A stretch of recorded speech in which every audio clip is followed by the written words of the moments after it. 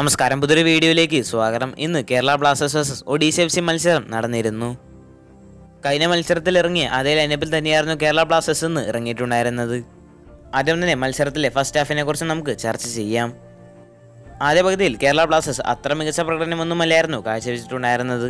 രണ്ട് ടീമുകളും ഒരു ആവറേജ് പെർഫോമൻസ് ആയിരുന്നു ആദ്യ പകുതിയിൽ കാഴ്ചവെച്ചിട്ടുണ്ടായിരുന്നത്. ഫസ്റ്റ് ഹാഫിൽ കേരള ബ്ലാസ്റ്റേഴ്സിന് ഒരു ഗോൾ സ്കോർ ചെയ്യാൻ സാധിച്ചത് പ്രധാനപ്പെട്ട ഒരു കാര്യം തന്നെയാണ്. ഒഡീസ് എഫ് സിക്ക് ഒരുപാട് അവസരങ്ങളൊന്നും ലഭിച്ചിട്ടുണ്ടായിരുന്നില്ല.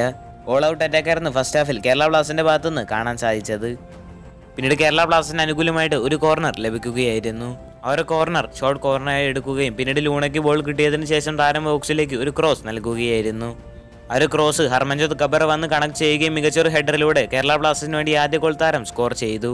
അങ്ങനെ മത്സരത്തിന്റെ മുപ്പത്തി അഞ്ചാം മിനിറ്റിൽ ഹർമൻജോത് കബറയുടെ ഗോളിലൂടെ കേരള ബ്ലാസ്റ്റേഴ്സ് ആദ്യ ഗോൾ സ്കോർ ചെയ്തു. പിന്നീട് രണ്ട് ടീമുകളും അത്യാവശ്യം അറ്റാക്ക് ചെയ്യാൻ ശ്രമിക്കുകയായിരുന്നു. ആദ്യ പകുതി അവസാനിക്കുമ്പോൾ കേരള ബ്ലാസ്റ്റേഴ്സ് ഏകപക്ഷീയമായ ഒരു ഗോളിന് ലീഡ് ചെയ്യുകയായിരുന്നു. മത്സരം സെക്കൻഡ് ഹാഫിലേക്ക് കടക്കുമ്പോൾ ഒഡീസ എഫ് സി നല്ലപോലെ അറ്റാക്ക് ചെയ്യാൻ തുടങ്ങിയിരുന്നു. ഒഡീസ എഫ് സിയുടെ താരമായ ജെറിയുടെ ഭാഗത്തുനിന്ന് മികച്ച ശ്രമങ്ങളൊക്കെ നമുക്ക് കാണാൻ സാധിച്ചിരുന്നു. കേരള ബ്ലാസ്റ്റേഴ്സിന്റെ തന്ത്രം ഓൾ ഔട്ട് അറ്റാക്ക് ആയതുകൊണ്ട് തന്നെ ചില ഒഡീസ എഫ് സിയുടെ കൗണ്ടർ അറ്റാക്കുകളിൽ കേരള ബ്ലാസ്റ്റേഴ്സിന്റെ ഡിഫൻസിൽ താരങ്ങളെയൊന്നും കാണാൻ സാധിച്ചിരുന്നില്ല.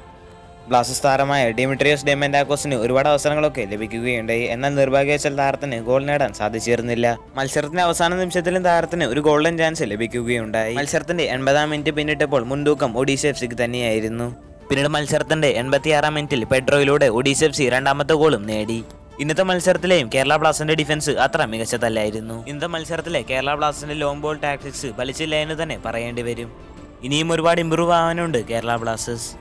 എന്തായാലും ഇന്നത്തെ മത്സരത്തിനെ കുറിച്ച് നിങ്ങൾ എപ്പോഴും കമന്റ് ചെയ്യാൻ മറക്കരുത്.